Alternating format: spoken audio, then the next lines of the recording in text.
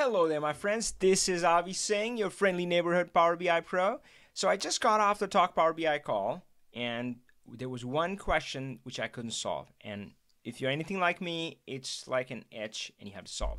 So I couldn't solve it completely, although I'm pretty confident that we had the right track. So I'm going to try to solve it now, and we'll see how that goes. Um, so the scenario was how to combine files in a folders which do not have headers. And actually then we had a different uh, also the nuance to that was we have excel and csv files. So the scenario here is that we have uh, some uh, text files which do not have header or csv i just use text but it's the same thing. And we have some excel files which do have a header. And and we just need to combine all of them together. So i'm just going to go through that and see how things go. And yeah sorry it might be a long video. So here is my Excel file. And this one does have a header. All right, so let's get started, my friends. We're going to go in here, and I'm going to start the query editor. I'm going to be spending some time there. And I'm going to say new folder. Uh, and I'm going to give it that path. Go here, hit OK, and I'm trying to first get the text files and we'll see how it goes. And here I say combine and edit. Go first file. Um, I can be more specific, like this file. I'll just say data1.txt. I kind of like that. I like being a little more specific, and we'll hit OK. And that didn't work because it brought in all the garbage XLSX but that's all right. I can this was I was only trying to get the CSV or the text files. Source mm, I'll just call them text for now right? So it doesn't. it doesn't matter. So we'll go back to the source and we'll filter filter it out. So we'll just say you know what? Only give me the text files. And by the way when you do this watch out for what it types in the formula. Sometimes it gets it right. So it says file type is txt. Sometimes it'll say it's not XLSX. It really, if there are only two options, you can't really tell what, what you want it to, to have. So let's just see what it did. Uh, perfect. So extension is saying .txt. That's what I want. And now if I go in here, uh, this is column one, two, three. Perfect. Looks great. So now I'm going to go back and get the Excel files and see how that goes.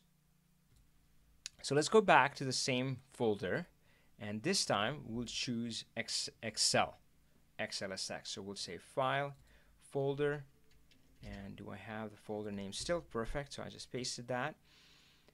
And and this time so if you watch the live talk Power BI I was doing combine and edit. And that was getting messed up because it it, it tries to frankly figure this out by themselves. And that wasn't the right path because it was getting tripped up. It was getting you know thinking it's a txt file. So uh, the right thing I realized is to not say combine and edit and say so whoa whoa whoa query editor hold on I know there's a mix of files and I know you're going to get confused. So you know what? Yeah, do me a favor, don't try to combine it yet, right? So I'm just going to say edit, right? And, and, and, and this one just gives you files and now we got more control. So now I can filter down to XLSX. So again, remember we've already done the text files and this time we're trying to go back to the same folder, but parse the XLSX files, right? So now we have this and ready, we just say expand the content. So I'm going to click here and now it's got the right context. Now it's not going to get confused about the text files. Now there are only Excel files in this. So now it says, oh, okay, cool. I'm trying to combine Excel. What do you want to do? And I say, yeah, yeah just go to the sheet one and just combine all of it. There we go. And now it has it. And remember the original challenge that we had where this one didn't have the column headers and and and you would think that now you can take this and append these two together but it doesn't work that way. What you're going to end up with you're going to end up with uh, name sales date and you're going to end up with column 1 column 2 column 3 so we do need to solve the problem of the text file having its own headers and we solve that by supplying a, a header file. So what I did here is I just enter the data in Power BI. I often do that when I'm in a hurry.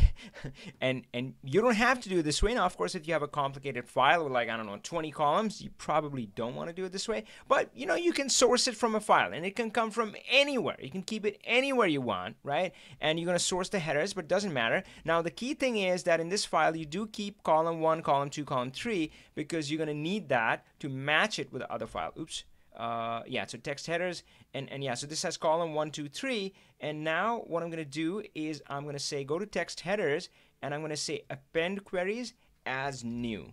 All right, and just, yeah, just follow along. Once you see the end result, you're going to say, oh, yeah, of course it makes sense. So I say the primary table is text headers, but then go back to that source txt table and just, you know, so again, merge is when you have a table and you're trying to add something kind of on the side. That's merge queries right here, but we're trying to append and and that one is so append queries just stacks tables on top of each other. And you can of course have do more than one tables more, more than two tables. So here I just have two tables and source txt is not really like a single it's going to a folder and combining all the text files in there. But now all I need is the headers on top of that sitting on top and this is going to give me that. So this will say uh, source uh, txt with headers and and now we have uh, yeah, this looks good. So, uh, so I, I realized that maybe we should have had uh, one source name that uh, there as well. Let me quickly fix that.